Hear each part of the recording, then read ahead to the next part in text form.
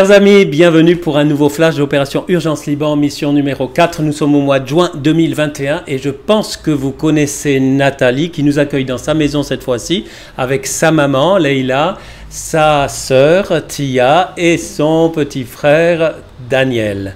Mais c'est de nouveau Nathalie qu'on va interviewer sur un sujet très important, à savoir le travail. Et malheureusement, il faudrait plutôt appeler cela le chômage. Mais on va y venir. D'abord, Nathalie, j'ai une question pour toi, parce que certains, dans le dernier flash qu'on a enregistré à propos de l'électricité, de l'eau, des doubles factures, tu étais habillée tout en noir, avec une croix, et je pense que certains ont cru que tu étais une religieuse. Mais tu n'es pas une religieuse, Nathalie.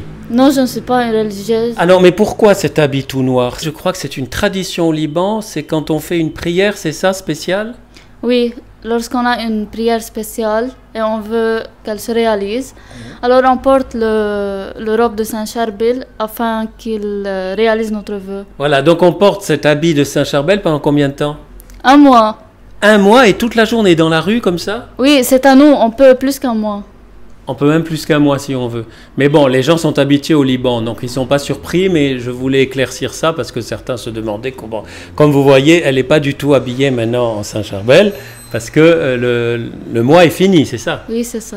Alors la question, c'est que c'est difficile de trouver du travail. Oui, oui, c'est toujours difficile. Et toi, tu as cherché du travail pendant combien de temps? Euh, J'étais quatre mois en chômage. J'étais chômeur. Pendant quatre mois, mais attention les amis, tu recevais une allocation de chômage? Tu recevais de l'argent? Non. en- Oui, Nathalie est étonnée, parce que chômeur en France, on reçoit de l'argent. Tu oui. savais pas ça? Non. Vous voyez, il y a des signes d'espérance, c'est pour ça qu'on a voulu interviewer Nathalie aujourd'hui, parce que tu as trouvé du travail. Oui, enfin.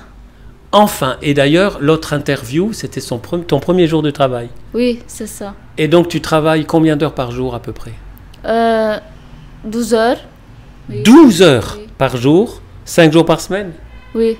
Oui, c'est Non, c'est 6 jours par semaine. 12 heures, 6 jours par semaine, c'est pas les 35 heures. hein.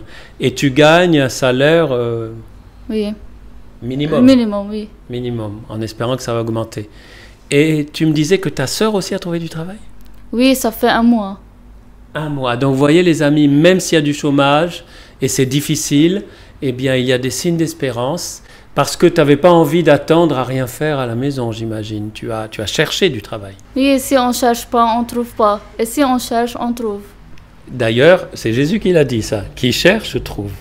Donc voilà les amis, c'était un bref interview, mais pour vous dire que, un peu comme la, mamie de l'autre jour, cette femme exceptionnelle, je vous invite à aller écouter euh, ce flash, comme les autres d'ailleurs, eh bien il y a beaucoup de jeunes aussi au Liban qui n'attendent pas que ça tombe du ciel ou qui restent à, à rien faire. Ils ne sont pas défaitistes, ils ne sont pas passifs, mais actifs, ils cherchent.